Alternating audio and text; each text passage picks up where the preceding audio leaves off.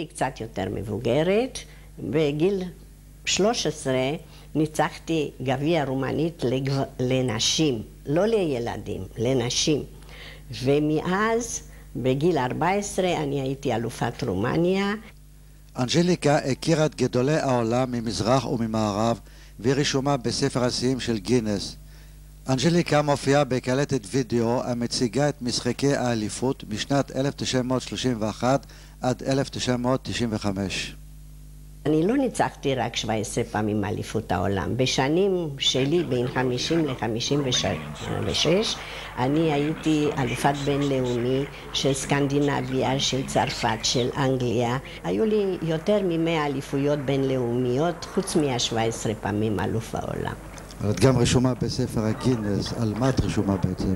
אני רשומה בשביל הרקורד שלי, שניצחתי שש פעמים רצופות על אליפות העולם ביחיד נשים. כיום אנג'ליקה אינה משחקת טדי שולחן בכלל. עם עלייתה ארצה לא התייחס הממסד הספורטיבי לכישוריה וליכולת תרומתה לקהיליית הספורט בישראל. למרות זאת, היא נכללה בספר 50 האישים החשובים של חיפה. לא קיבלו אותי יפה בארץ כשבאתי בשנת 60, שכל העסקנים שהיו בספורט אה, לא הבינו מה זה אלוף עולם אז. אז אני החלטתי שאם אני רוצה להמשיך לחיות בשקט בארץ, אני צריכה לשלוח מטניס שולחן. אמנם אנג'ליקה החליטה לשכוח מטניס שולחן, אכן זה אומר שהיא יושבת בחיבוק ידיים. את מרבית זמנה מקדישה אנג'ליקה למשחק הברידג' ומדי פעם אף זוכה בתחרויות קטנות.